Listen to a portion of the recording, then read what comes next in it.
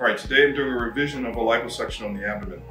Um, what this person didn't like is that you had a little bit uneven liposuction before, um, a little bit fullness around the umbilicus, and then a, a little depression uh, in the uh, bottom of the abdomen.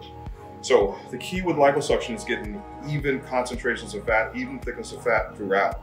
And so when we look at the abdomen and the, the thickness of fat that was left here versus the thickness of fat that's left, you know, around the belly button, it's, it's not even.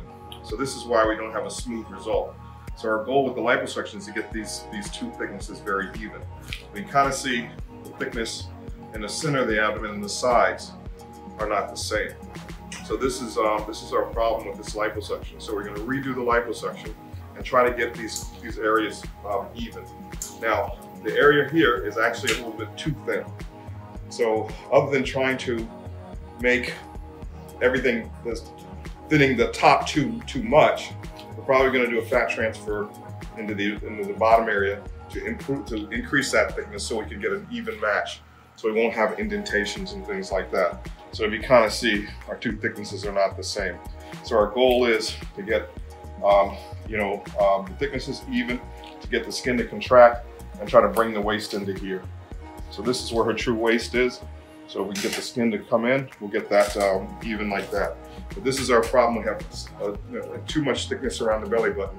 You know, we can see these are not the same thickness. So we're gonna work on getting things more even.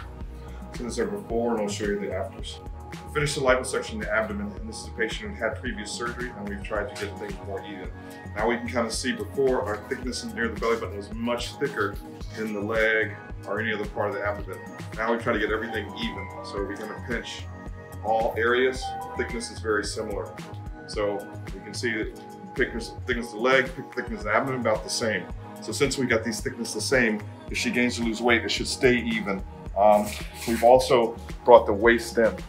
So the waist is much smaller. Her ribs are here, and the ribs really determine the waist, so we brought the waist into the ribs. So this will give her a more curvy figure with a smaller waist. So this is our conclusion of the fat transfer, the revision of the, of the I'm sorry, revision of the liposuction of the abdomen. The main thing is all that thickness is around the belly button. Now these areas are more symmetric. Symmetric is the key to a liposuction.